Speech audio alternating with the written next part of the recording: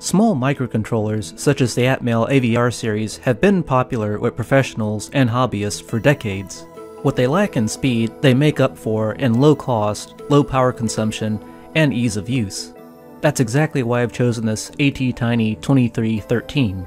But eventually, we need to go from an idea that's in our head to a software program that runs inside the chip itself. That's exactly what we'll do today using a program called Atmel Studio 7. Before I go on, I should note that I'm not affiliated with Atmel or their parent company, Microchip Technology, but I have been using their devices for almost 20 years. As a side project, I'm working on a machine vision module. The module contains a custom circuit board, and the custom circuit board contains a Atmel AVR microcontroller. Among other things, the AVR needs to blink a green LED on the circuit board to indicate that it's running correctly. So for now, our objectives are simple.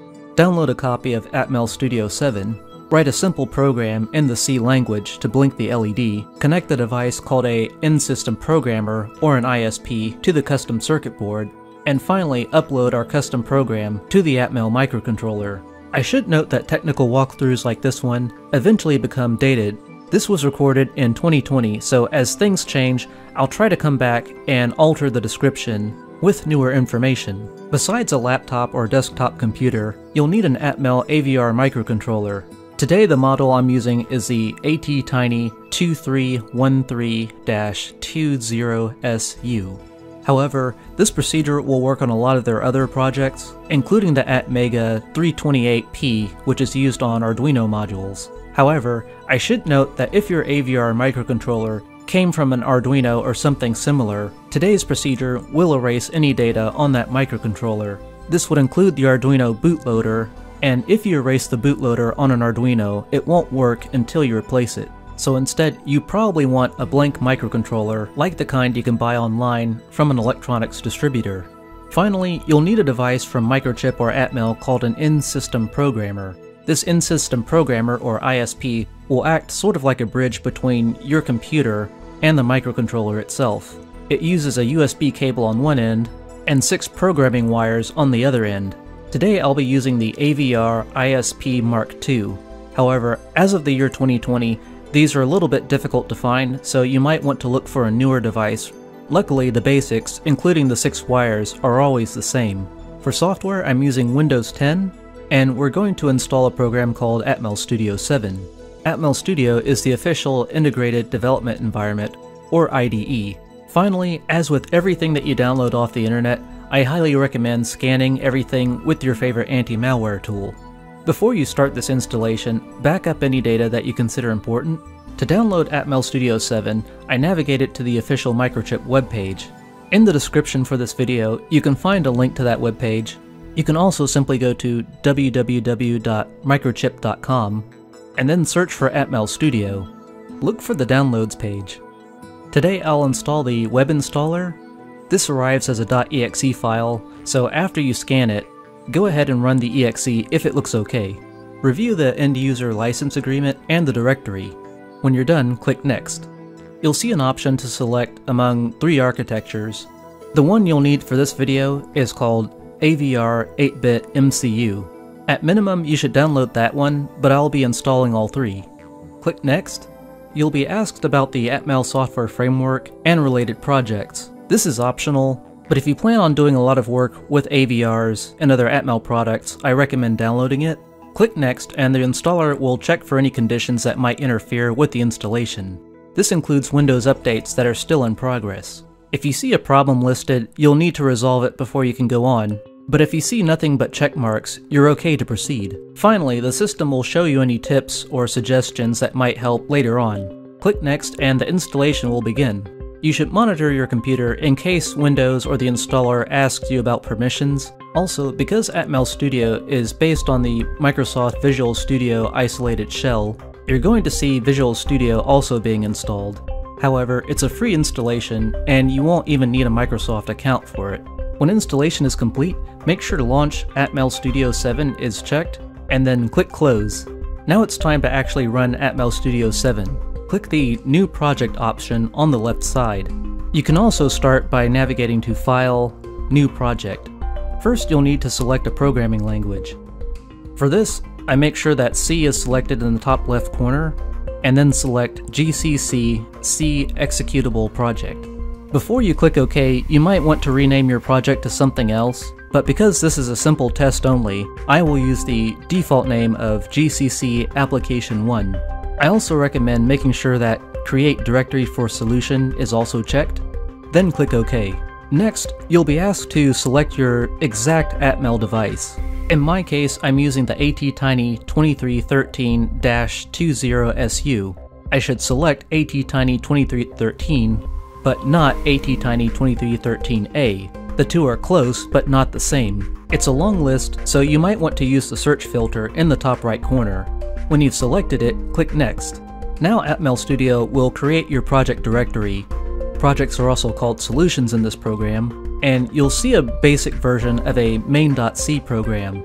From here, we can start coding in the C programming language. So now would be a good time to review a simplified schematic of that custom circuit board. The only parts that really matter today have been printed on the screen.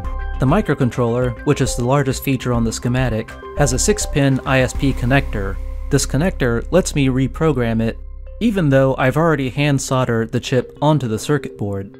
To let me see that the software on the chip is running, I've included a green LED. This LED is located next to other green LEDs on the board, so we need to make it flash. That LED is wired up to port B pin 4, and in my program, I'm going to name that pin Output Run ID. A name like this will help remind me that it's an output and it's a run indicator. So now it's time to start coding. First, anytime you see two slashes, that indicates a comment, and comments are just our own notes, and they're not going to be read by the chip itself. First, let's start by defining that pin that's attached to the LED. Again, the name will be output run ID.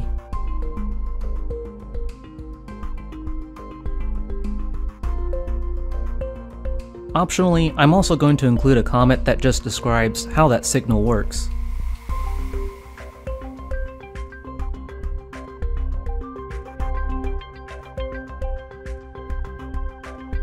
Next, we need to take that pin and define it as an output rather than an input, which is the default setting. To do that, I'm writing to Data Direction Register B, or DDRB. This is an 8-bit value, and any bit that's a 1 will wind up being an output. Next, to actually activate that output, I need to use the port B register. This register is another 8-bit value, and any bit that's set to a 1 will activate that pin, giving us usually 3 to 5 volts, depending on the power supply.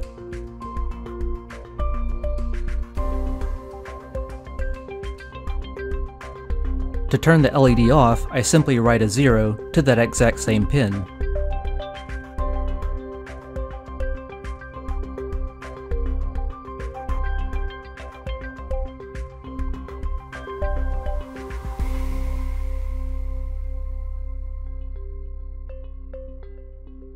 Next, we need to slow down the on-off blink rate. We'll do this by adding delays, otherwise the LED would just seem to be on constantly, but slightly dimmer than normal. To generate that delay, we'll use the delay ms function, which is short for delay milliseconds. Being on for 500 milliseconds and off for 500 milliseconds will give us a 1 Hz blink rate, or something very close.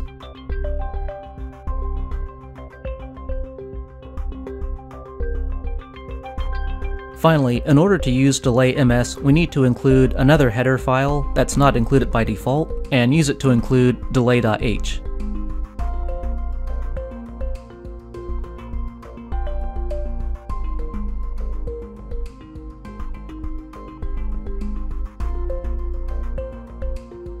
To generate an accurate delay, or one that's close, we also need to tell delay.h what our frequency is for the microcontroller the ATtiny 2313 includes an internal 8 MHz clock source.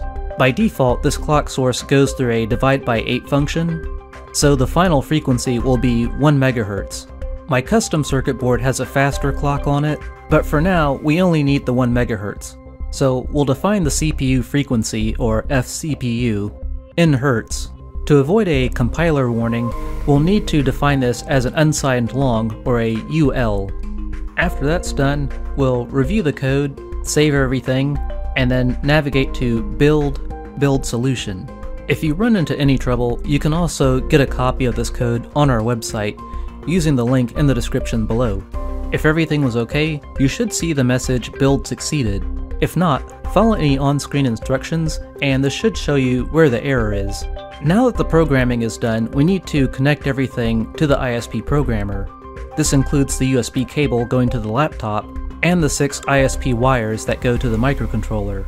Atmel and Microchip use a standard 6-pin and 10-pin connector for this purpose. If you have trouble figuring out which pin is pin 1, you can often look for a triangle or a red wire. These will show you where pin 1 is located, so be sure to double check everything. Finally, you'll need to supply your microcontroller with a power supply. In the past, the ISP programmer would supply this power by itself, but this seems to be a lot less common today. In my case, the custom circuit board has its own 5 volt regulator, so all I have to do is plug it in. With the coding and the wiring done, it's time to upload the program. Back in Atmel Studio, access device and debugger toolbar options. By default, this is usually a hammer-shaped icon near the top, and if this is the first time you're using Atmel Studio, it will probably say None On. Click it, and you should see the following window. First, you want to select your ISP device. If it's not listed, double check your USB connection and then restart Atmel Studio. Second, select your interface as ISP. Third, you'll probably want to have the following settings. Set your ISP clock to 125 kHz or lower, set programming settings equal to erase entire chip, and make sure there are check marks next to preserve erasable EEPROM, keep timers running in stop mode, and cache all memory. That last one should be blank. When you're done, click main.c and this will return you back to your own source code. From here, you can upload the code to the device by clicking the play button. Give it a few seconds to upload and you should see the LEDs start blinking. If you're seeing an error at this point, you can troubleshoot things by going to Tools, Device Programming. This will launch the Device Programming dialog. Make sure that your ISP tool is visible. At the very minimum, you want to make sure that you can click the Apply button without seeing an error. This means that your own computer is able to see the ISP programming device properly. Next, you want to make sure that you can click read for device signature and also read for device target voltage. If your target voltage is zero, it means either your system isn't powered on or you might have a problem with your wiring. My system needs to have 2.7 to about 5 volts, but other Atmel devices might require different voltage ranges. If you can see the code for your device signature, that's a really good sign and probably a sign that you can now upload your code. The launch failure message can also help you narrow down which signals are working and which ones aren't. And that's pretty much it. This machine vision project is part of an ongoing summer project. If you find this sort of thing useful, be sure to like, share, and subscribe, and consider joining us on Patreon where we have a monthly poll and lessons learned with technical builds like this one. Stay tuned for more videos on electronics, robotics, and IoT, and as always, have a great day.